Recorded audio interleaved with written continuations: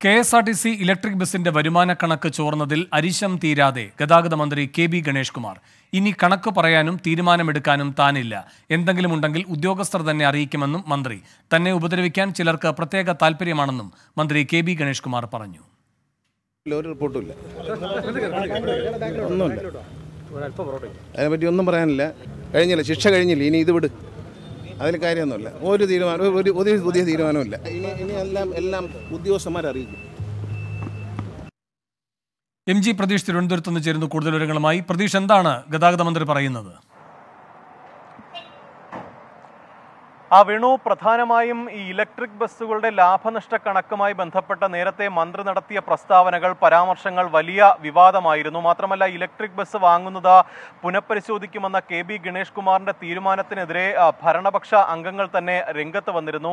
C P M സംസ്ഥാന secretary M V Govindan V K Prashanth M L A mayor Arya Rajendran അടക്കം മന്ത്രിയുടെ നിലപാടിനെ പരസ്യമായി തന്നെ ചോദ്യം ചെയ്ത് രംഗത്ത് വരുന്ന ഒരു സാഹചര്യം ഉണ്ടായി മാത്രമല്ല മന്ത്രി പറഞ്ഞ പ്രസ്താവനയ്ക്ക് അല്ലെങ്കിൽ മന്ത്രിയുടെ വാദം പൊളിച്ചുകൊണ്ട് കെ എസ് ആർ ടി സിയുടെ തന്നെ വാർഷിക റിപ്പോർട്ട് കൂടി പുറത്തു വന്നതാണ്. മന്ത്രിക്ക് വലിയ ക്ഷീണമായത്. അതുകൊണ്ട് തന്നെ ഇനി കെ എസ് ആർ ടി സിയുമായി ബന്ധപ്പെട്ടുള്ള യാതൊരു തരത്തിലും പ്രതികരണത്തിന് താൻ ഇല്ല എന്നതാണ് മന്ത്രി ഇന്ന് വ്യക്തമാക്കിയത്. രാവിലെ ഒരു സ്വകാര്യ പരിപാടിക്കിടെയാണ് മാധ്യമപ്രവർത്തകർ മന്ത്രിയോട് ഇതുമായി ബന്ധപ്പെട്ടുള്ള പ്രതികരണങ്ങൾ ചോദിച്ചത്. പക്ഷേ താൻ പ്രതികരിക്കാനില്ലെന്നും തന്നെ ശിക്ഷിച്ച് കഴിഞ്ഞില്ലേ എന്നുമായിരുന്നു മന്ത്രിയുടെ മറുപടി. മാത്രമല്ല താൻ ആരെയും ദ്രോഹിക്കാറില്ല. പക്ഷേ തന്നെ ചിലർ ടാർഗറ്റ് ചെയ്യുന്നു. തന്നെ ദ്രോഹിക്കാൻ ചിലർ ഉണ്ട് എന്നുള്ള അതടക്കമുള്ള പരാമർശങ്ങളാണ് മന്ത്രിയുടെ ഭാഗത്ത് നിന്ന് ഉണ്ടായത്. ഇനി ഇതുമായി ബന്ധപ്പെട്ട കെ എസ് ആർ ടി സിയുമായി ബന്ധപ്പെട്ട താൻ ഒരു തീരുമാനവും എടുക്കില്ല അല്ലെങ്കിൽ താൻ ഒരു തീരുമാനവും അറിയിക്കില്ല അങ്ങനെ ഏതെങ്കിലും തരത്തിൽ തീരുമാനങ്ങളുണ്ടെങ്കിൽ അത് ഉദ്യോഗസ്ഥർ അറിയിക്കുമെന്നതാണ് മന്ത്രിയുടെ